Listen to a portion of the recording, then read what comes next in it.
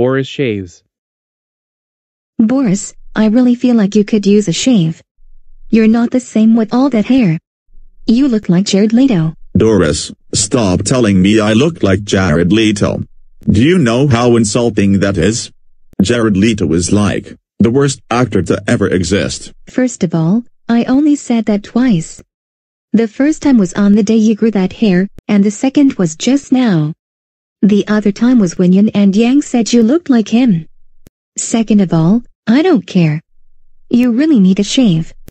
I miss the way you used to look. I don't care. I am not shaving. I want to keep it, because I look sexy. Don't make me get Saitama to come here and punch you into space again. Okay, okay, I'll go shave.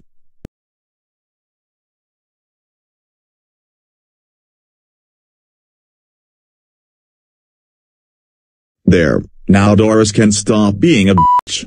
And plus I still look sexy.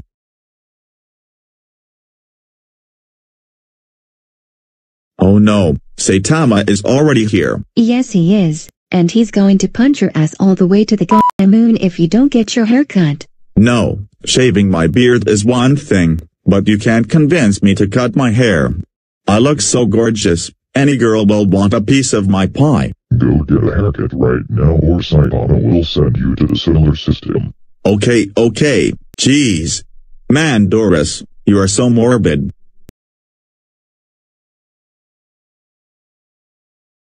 Alright, I got a haircut and I shaved my beard.